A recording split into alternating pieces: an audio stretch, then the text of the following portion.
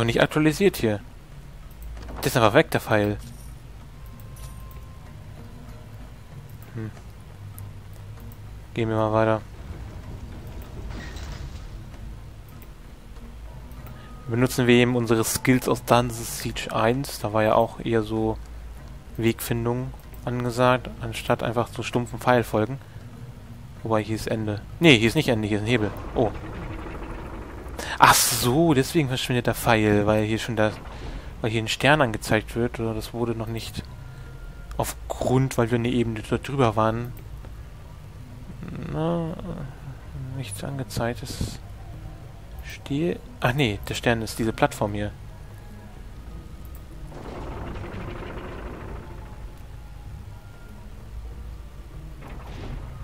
Die innere Kammer des alten Azunitenschreins. Kommt mir vor, als wäre das Zuckel für Lie Okay. Sieht mir nach einem Fight aus, der ein wenig länger dauern wird. Okay, hier steht dieser Sternchen, aber ich nehme mal an, dass wir... Ja, hier ist hier so eine Schummeltür. Ich nehme mal an, dass wir hier erstmal alles anklicken, um das dahin zu packen. Genau. Denke mal, das wird ein Fight hier auch noch werden, weil ansonsten hätte man sich nicht die Mühe gegeben, so ein großes Areal zu machen. Nehme ich mal an.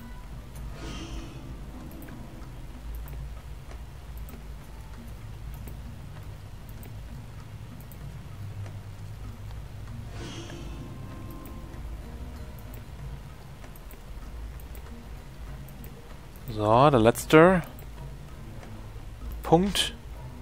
Hallo? Ich habe darauf geklickt. Da ist eine Map. Oder was ist das? Kette zum verlorenen... Ja, ein silberner Spiegel. Interessant. Und eine Map. Und kein Fight? Akt 1, Kapitel 8, das, Verlo das verlorene Azoniten-Artefakt. Okay. Zumindest dürfen wir speichern. Das bringt uns aber auch nicht viel weiter, aber zumindest machen wir das mal. Spiel gespeichert. Jetzt haben wir irgendwie einen Spiegel bekommen. Ich weiß nicht, was das bringt, aber der das ist zumindest interessant.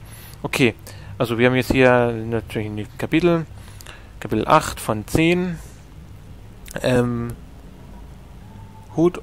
Achso, sucht das verlorene Gewölbe. Okay. Hier ist die Karte.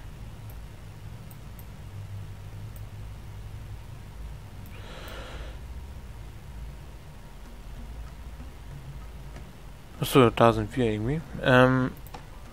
Nee. Was ist mit dem Spiegel?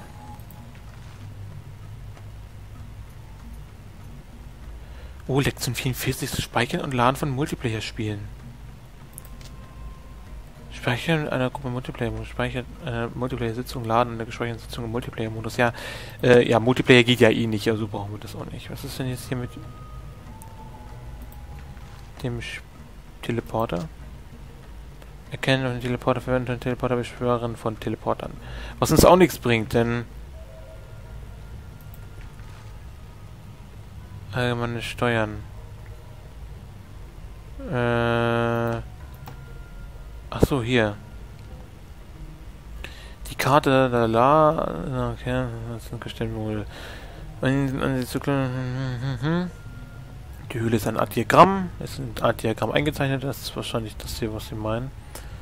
Aber das ist, das ist wahrscheinlich der Standpunkt, wo wir uns befinden. Das ist dieser komische, dieses komische, komische, diese Linien da auf dem Boden wahrscheinlich. Nehme ich mal an. Und was mit dem Spiegel? Karte von... Ach, das ist... Ach so, okay, das ist die Karte davon. Bücher... Die stehlen da.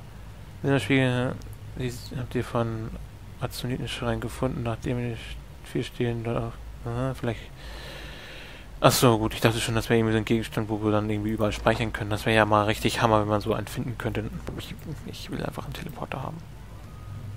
Hier ist irgendwo eine Tür aufgegangen, ne? Eine Tür ist aufgegangen, wo wir lang gehen könnten.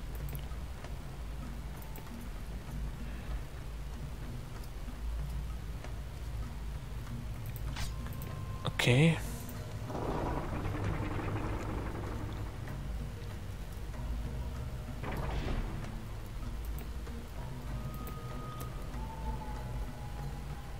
Hm. Sind wir richtig? Oder nicht? Hallo? Darauf.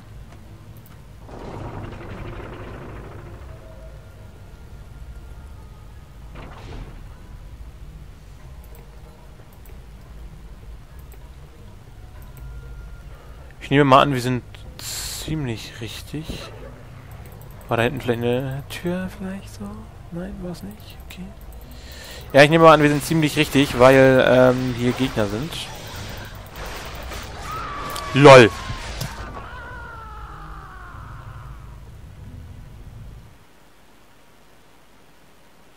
What the fuck? Okay, Leute. Ähm, ein kleines Problem. Ich habe nicht drauf geachtet. Wenn ich jetzt auf Regenerieren klicke, wird das Spiel abschmieren. Das heißt also...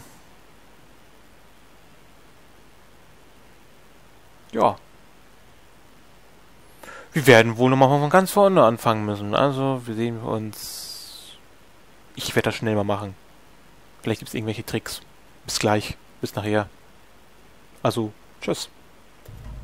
So, hallo und herzlich willkommen zurück. Ähm, ich habe es zum Glück äh, noch geschafft, äh, die Save Game Datei zu reparieren. Deswegen musste ich jetzt nur den Weg zurückgehen und nicht äh, noch alles in vorne spielen. Äh, da ich ja wenig, äh, also ich habe ein wenig Ahnung von der ganzen Materie, deswegen, also von Programmieren, deswegen konnte ich das auch ähm, sozusagen wiederherstellen. Das heißt, alle Items habe ich jetzt immer noch und ähm, so weiter und so fort. Das Ding ist aber, dass die Datei schon wirklich ziemlich beschädigt war. Ich habe sie jetzt wiederhergestellt, ich weiß es aber nicht, was für Bugs alles wegen dieser fehlerhaften wiederhergestellten Datei auftreten können, denn so wirklich komplett äh, komplett äh, original beziehungsweise komplett äh, richtig ist diese Datei nämlich nicht. Aber sie wird zumindest vom Spiel gefunden und geladen und zumindest auch äh, nehme ich einfach nur das, auch wenn es nichts bringt.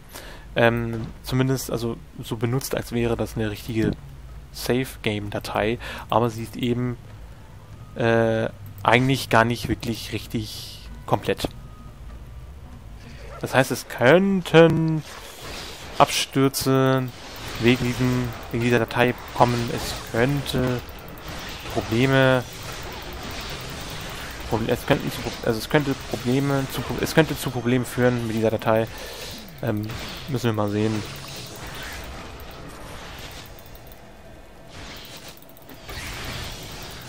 was passiert. Bis jetzt läuft das aber alles ziemlich gut. Und ja, hoffen wir mal, das bleibt so zumindest.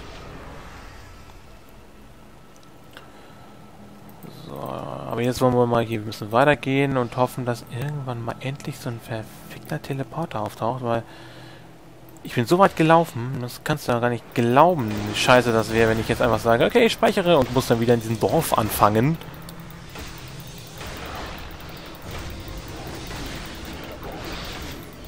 Das wäre richtig doof.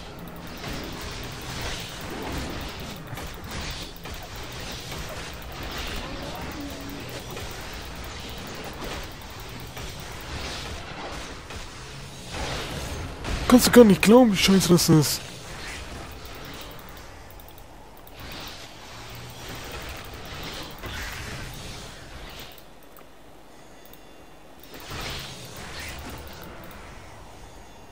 Da hinten ist noch eine. Spinne. So, jetzt wollen wir mal hier diesen... Oh, da sehe ich einen Teleporter auf dem Bild. Da sehe ich einen Teleporter da hinten. Da sehe ich einen. Die Maus wird nicht mit aufgenommen, ich weiß. Aber trotzdem sehe ich da ein Teleporter-Symbol auf der Karte. Das, ähm... Freut mich. Freut mich sehr.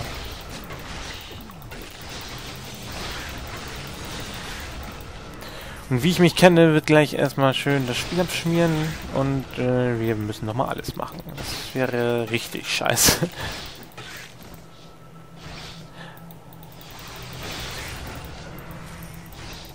Ach man, diese ganz vielen kleinen... Ja, auch in diesem Spiel gibt es einfach so Gegner, die ganz blöde platziert wurden.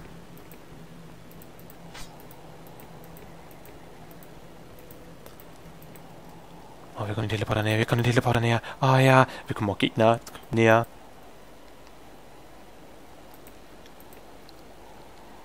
Ja, und diese Standbildruckler, also dass ich dann wirklich für einen Mini-Mini-Moment äh, 0 FPS habe, liegt auch an dieser Datei übrigens.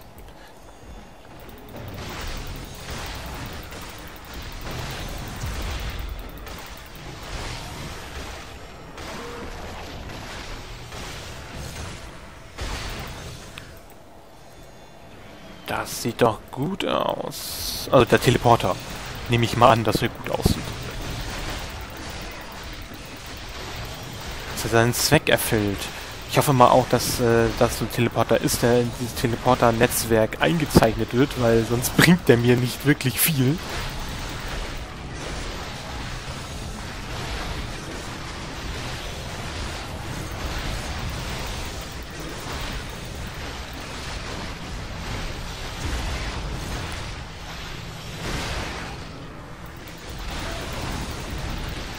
Aber äh, doch, ich denke schon. Ich denke schon.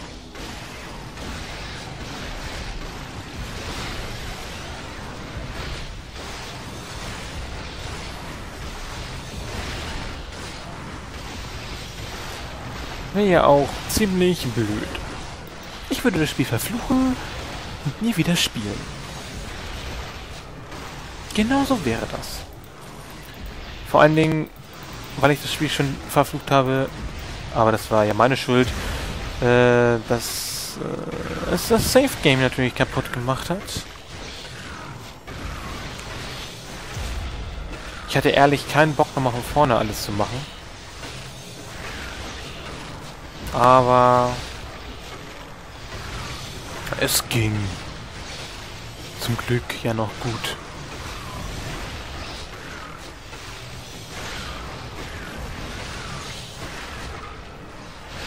Ein zweites Mal, glaube ich, können wir uns das aber nicht erlauben.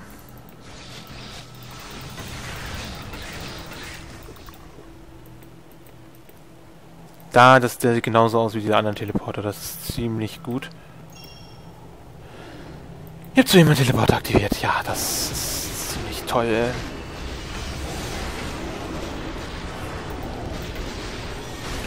Man sieht auch so ganz leichten Weg auf der Map.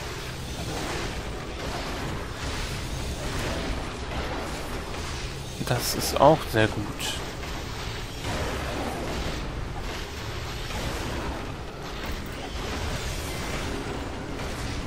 Ach, jetzt wieder kein Mana.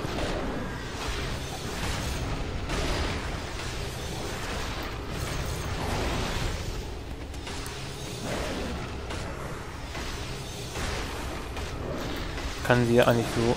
Nee, dachte schon, mit Shift kann man irgendwie so den, Begleitern befehlen, das aufzunehmen. Das geht aber nicht.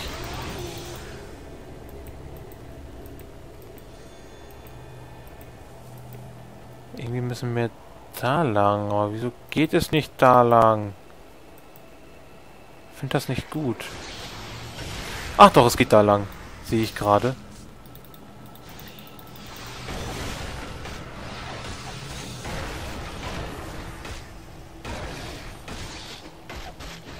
Äh. Ich dachte schon, der Gegner hat keine Beschreibung oder so.